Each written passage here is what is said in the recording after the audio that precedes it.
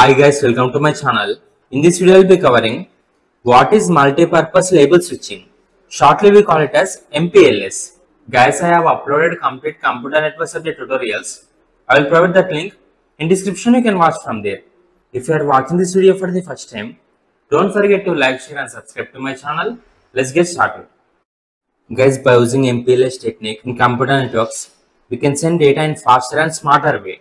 Guys, normal in internet, whenever device send data, data will move through internet by checking each and every device IP address. So each router will check IP address. Only if there is IP address match, then data will be transferred to receiver. This takes time because each router need to verify IP address again and again. So MPLS will give data a label. Label is nothing but it is like shortcut.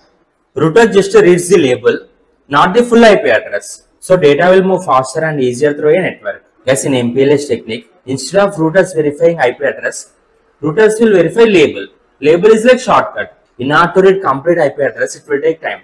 So label is like shortcut. Instead of reading complete IP address, if routers read shortcut, then data will be transferred very fast. This is example. In MPLS technique, each router will maintain table. The table contains device name, label and IP address. For example, this computer want to transfer data to this computer. So whenever data is transferred to this router, now this router will not verify IP address. Instead, this router will verify label. Label is shortcut.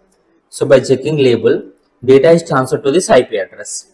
So now this receiver will receive data. These are advantages of multi-protocol label switching. And the first one is as data will be transferred by reading label instead of IP address.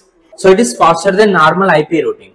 And MPLS technique can carry any type of message like voice message, video, etc.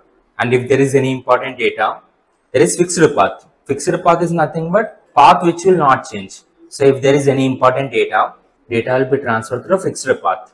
So fixed path is given to important data like, like video calls, voice calls, etc. And this MPLS technique is used in big companies.